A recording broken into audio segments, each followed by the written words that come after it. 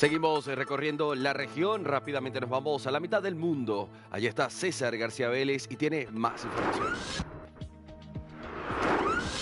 Gracias Andy, estoy en la Academia Diplomática del Ecuador junto al embajador Alejandro Suárez con quien vamos a establecer un diálogo al respecto de lo que está pasando desde el ámbito internacional y todo lo que tiene esta connotación de lo que está pasando en Venezuela.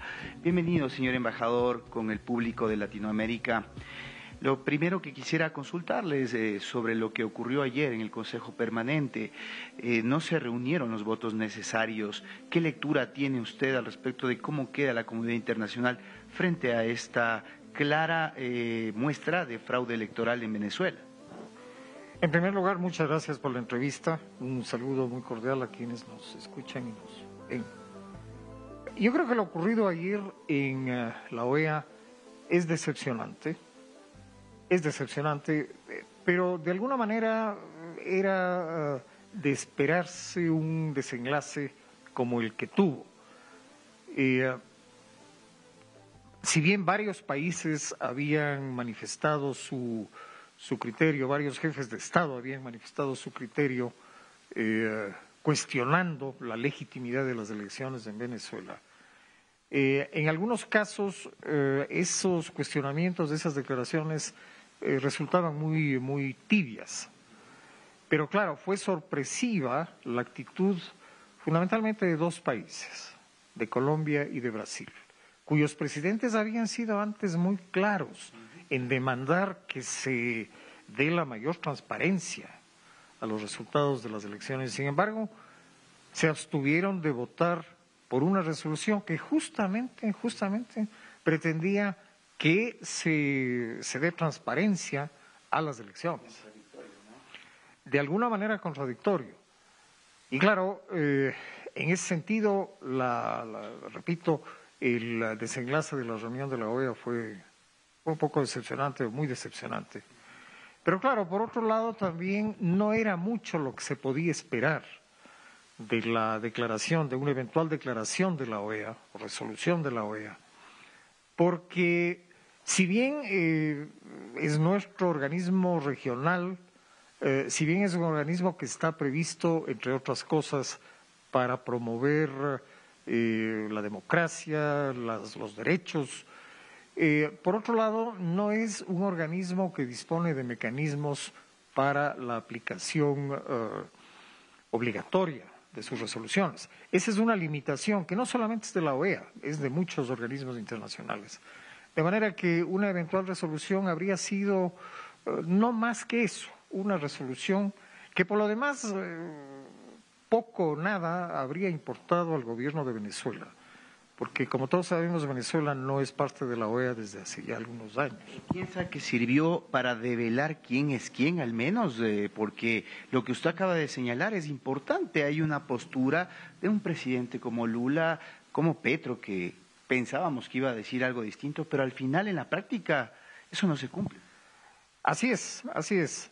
De alguna manera, pues sí, lo ocurrido en la OEA nos ha servido para eh, descubrir eh, por dónde va realmente la posición, los criterios de algunos de los mandatarios eh, americanos.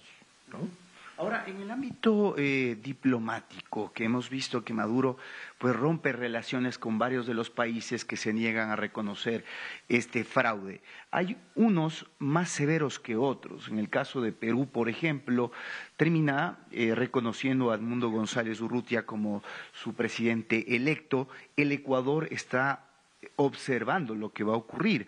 Pero ¿de qué depende, de acuerdo a la diplomacia, este reconocimiento o no de un gobierno? El reconocer o no a un gobierno es eh, potestad soberana de los países. Eh, cada país, cada gobierno eh, está en libertad según sus intereses, según sus conveniencias, de reconocer o no a un, a un gobierno. Ahora, claro, en doctrina, en doctrina, el reconocimiento de un gobierno cabe cuando eh, hay de por medio un, eh, un, proceso no ajustado a las normas legales, a las normas constitucionales. En el caso de Venezuela, eh, el tema es, es, es, poco claro porque evidentemente se ha producido un proceso electoral, un proceso electoral claramente fraudulento, claramente fraudulento, pero proceso electoral al fin.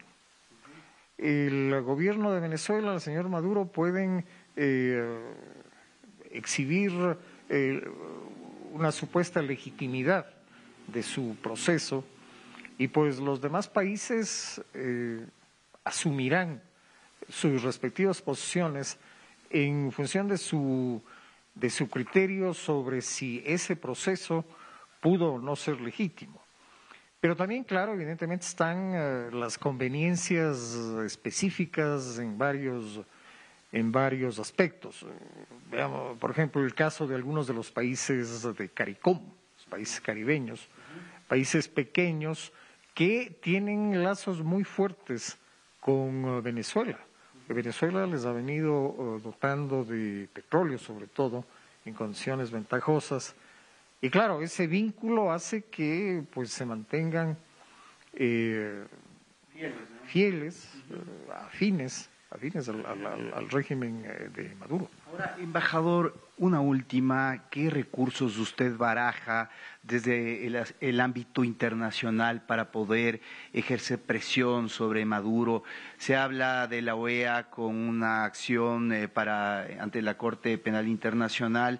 Sin embargo, usted ya lo ha calificado. La, OEA mismo ha venido deteriorándose en su legitimidad, en su, eh, en su capacidad de acción.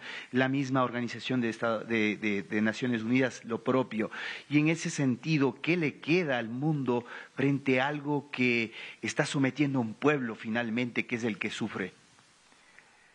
Eh, yo soy un poco escéptico en cuanto a lo que la comunidad internacional en su conjunto pueda hacer frente al, al tema, al fraude que se ha producido en Venezuela. Ahora, claro, países y grupos de países eh, es posible que tomen ciertas acciones. Por ejemplo, eh, Estados Unidos eh, entiendo que considera la aplicación o la restauración de sanciones que ya antes impuso el gobierno venezolano. Eh, la Unión Europea, de la misma manera, estudia formas de, de, presión, de sanción al gobierno venezolano. Podría ser que otros países tomen algún tipo de acción similar. Pero claro, Venezuela, Venezuela tampoco está solo. Venezuela es un país que tiene eh, el claro apoyo de potencias grandes como son China, Rusia, y que de alguna manera pues eh, ese apoyo podría compensar cualquier tipo de sanción que se le imponga a Venezuela. Ahora ya eh, en un futuro inmediato, o quizás ya a largo plazo, eh, la, única, la única alternativa que le queda a Venezuela son los propios venezolanos. Los propios venezolanos. Ahora, lamentablemente, lamentablemente, mientras el gobierno de Maduro siga ah, sustentado, siga apoyado por unas Fuerzas Armadas comprometidas con el régimen, envilecidas por el régimen y corrompidas por el régimen, como es el caso de Venezuela. Mientras esas Fuerzas Armadas apoyen el gobierno del señor Maduro, yo creo que es muy poco lo que eventualmente pueda hacer el propio pueblo venezolano, que se verá sometido, como ya ha ocurrido en ocasiones anteriores, que se verá sometido a una tremenda represión. En este momento ya hay eh, al menos dos uh, decenas de muertos en Venezuela, una cantidad mayor de heridos, hay una, una represión que se ha desencadenado y eso es muy probable que se agudice. Gracias, gracias. Eh, ahí tenemos la voz autorizada del director de la Academia Diplomática, el embajador Alejandro Suárez, con este análisis desde el ámbito diplomático, geopolítico, de cómo está el panorama y qué se puede hacer desde la comunidad internacional frente a este fraude en Venezuela. Tú sigues desde estudios, Andy. Puedes apostar, compañero, que así será. Gracias a ambos por estas precisiones. Buena tarde.